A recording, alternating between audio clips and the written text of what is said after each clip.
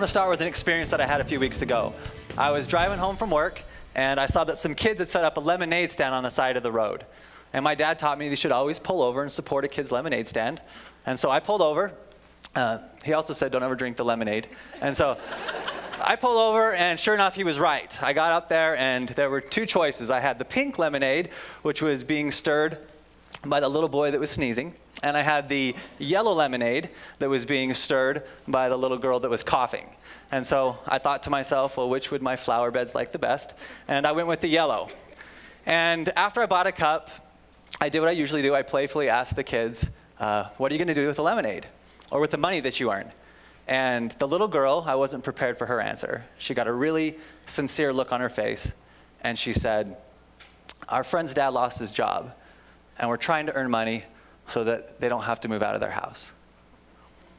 I bought five more cups. Uh, empathy is something that we're born with. In the last 20 years, neuroscientists have discovered that each of us are born with something called mirror neurons, which actually programs us to vicariously care about the other people's experiences around us. And when we cultivate that side of us, then we increase our capacity for connection. When we diminish or deaden that side of us, then it can lead to disconnection, isolation, loneliness, um, or even unethical or abusive behaviors. And so today, I want to help us reimagine the role that empathy can play in our society by reshaping it the way that we live it in our lives. And to do that, I need to talk graduate school for a second so I can explain how I generated my research. For those of you that haven't gone to graduate school, um, let me just break it down for you. It's basically like the Hunger Games. And uh, it really is. And you're just trying to survive. You're trying not to get eaten. Spears, some people are shaking their heads. Yeah, right? Professors are throwing spears at you. If you can make it to the end, then they say to you, before we let you become a doctor, you've got to do this massive research project and write this massive book called a dissertation. And this should somehow produce new knowledge and change the world. No pressure. And so when I got to that place, I was losing sleep. And my sister asked me, well, what is it that's changed your life? And the more I thought about that, uh, the more I kept coming back to empathy and the role that it's played at various stages in my life, for reasons I'll explain in a minute. And so I thought, yeah, look at the nature of the world today and look at the problems that people have in relationships on a daily basis. Wouldn't empathy be a wonderful thing to inject into the world and into relationships? So I decided to study empathy, and this is how I did it. I created an upper division class that focused on empathy, and I had all my students uh, keep empathy journals for the course of the semester. And I did this for two semesters in a row, so it took me eight months to collect my data. Uh, I had them do a bunch of different things with those journals. Two of the things that I had them do was I had them reflect on empathy experiences in their life and to also and write about those and then also to apply empathy to their current relationships and kind of write about how it affected those relationships over time. So when I was done, I had a stack of empathy journals, hundreds of pages of empathy experiences. And John Dewey said that we do not learn from experience, we learn from reflecting on experience. And I had their deep reflections of their empathy experiences. I've spent the last two years of my life analyzing these journals as rigorously, as meticulously as I could to try to understand empathy on the deepest level so that I could teach it. And so today, I want to share just three things that I've learned uh, throughout this process. And that is three things that can transform our lives and our relationships. And that is um, our ability to give empathy, our ability to receive empathy, and our ability to co create empathy. So let's talk about giving empathy for a second. If I was to ask you, what does it mean to give empathy? I actually asked my students this on the first day of class. I'm guessing many of you would say what they said, which is, I don't care, how do I get an A in this class? No, I'm just kidding.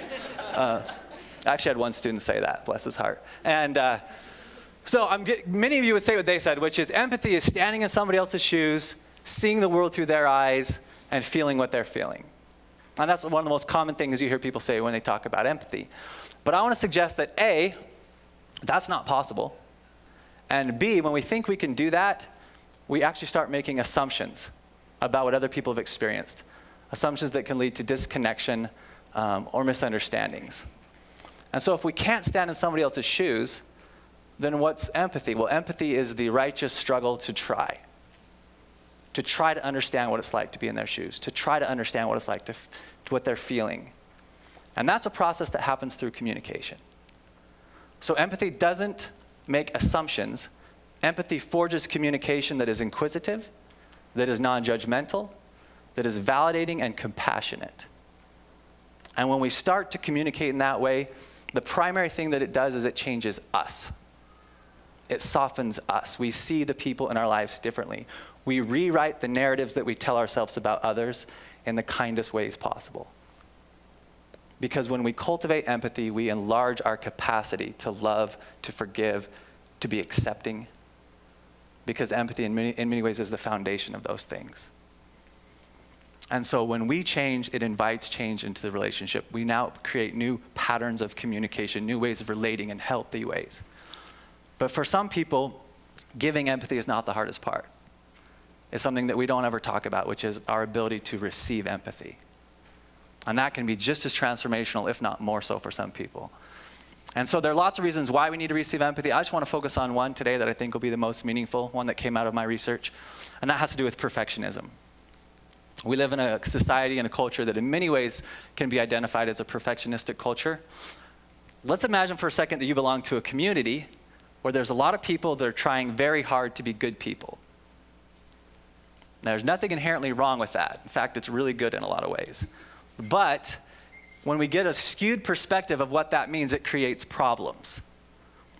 We can actually start to put up a bar and we say, everybody above this bar is a good person and everybody below the bar is not quite good enough.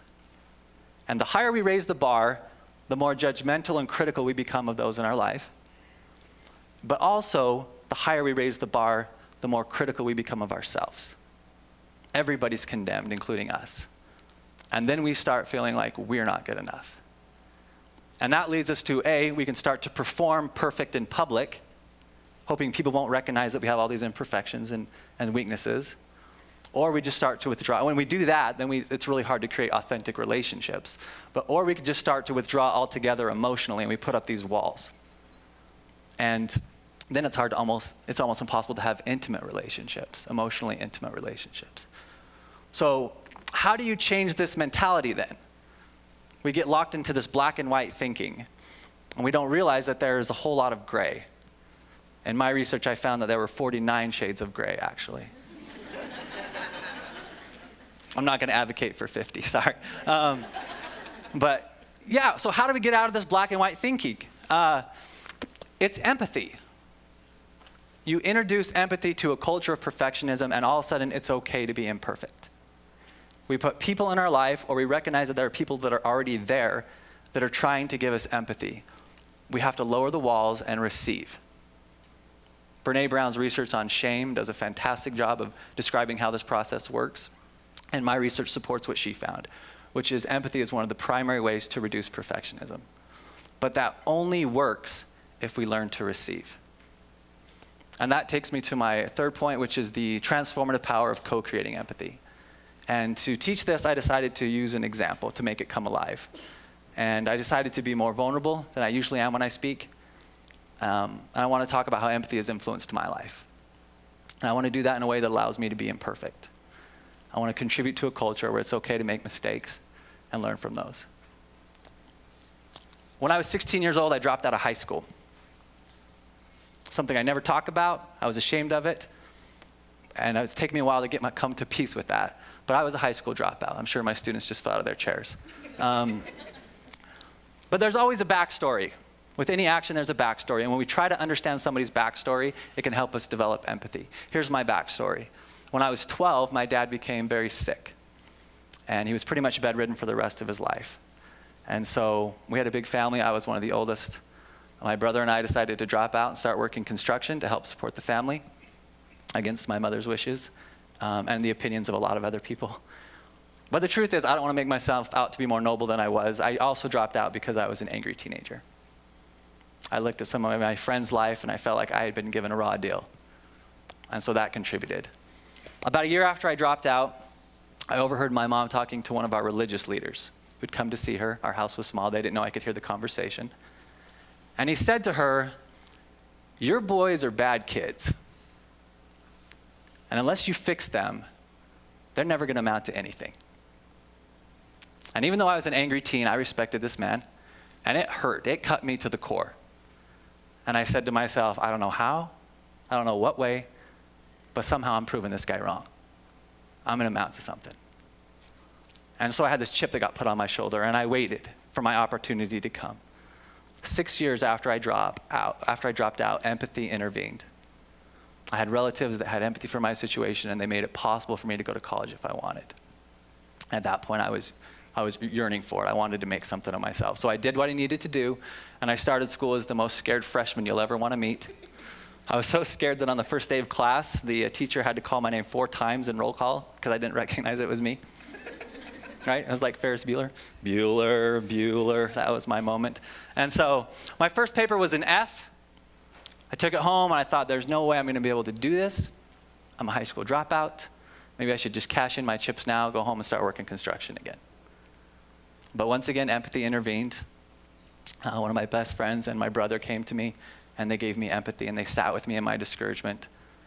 And because of that, they encouraged me to keep going, and I did. I worked as hard as I could. I barely made it through that first semester. I doubled down. I worked harder the second semester. My grades got a little better. By the time I got my bachelor's degree, my grades were actually good enough that I could go to graduate school if I wanted. And now I could taste it. The chip on my shoulder was bigger. I was going to make something of myself. And so I, I went to graduate school in California, and I, could, I started to study leadership. I was going to go into management. I wanted to make money. I wanted to be rich. I wanted to have, I guess that's the same. I wanted to have uh, status and I wanted power. I wanted to be able to go home and show everybody back home that I'd made it. Because the chip on my shoulder had gotten huge. But the problem was that the more I tried to make myself into somebody important, the more I lost myself along the way. And then that wasn't all that I lost. The universe sent me uh, the ultimate wake up call, and in a very short period of time, I lost the three closest relationships in my life. My dad died of cancer, the relationship I was in ended, and then my uh, brother died unexpectedly. And when you lose your closest relationships, you gain perspective. And suddenly I realized that making money, proving people wrong, that wasn't really that important. And that I had neglected the relationships that had brought meaning into my life. And so once again, empathy intervened, and there were graduate students, a teacher who came to me, and they sat with me in my shame. And they were present and they listened, and they helped me find clarity. And I realized that something that positive psychology figured out a long time ago, which is that the happiest people are those that have meaningful connections in their lives. And so I switched my focus. I decided to get a PhD in a degree that would allow me to teach principles of connection so that I can encourage people to value the people in their life. And that's what I've done, and that's led me here. And one of the primary things I've learned along the way is this is that empathy at its most transformational level is not one sided. I had been the recipient of empathy, and it had helped me progress, but I hadn't learned to truly receive or reciprocate. And it's, it's, it's not until we can get into relationships where they're, both people are giving empathy, where it's co created, where giving and receiving collapse together, because both of us are aware of each other's needs and we're constantly trying to meet those in healthy ways day after day. That is the real transformative power of empathy. It's not a hard hat that we put on. Oh, the wife's emotional again, put on my empathy hard hat, punch in my empathy time card, and go, go do some empathy, right? That's not what it is. I mean, it can work that way, but it's more powerful when it's a pair of glasses, not a hard hat that we wear all the time. It shapes the way we see everything, it shapes the way we communicate. And when the other person is wearing the glasses too, now you have connection at its deepest level. One of the coolest things I found in my research is that we each have different empathy languages.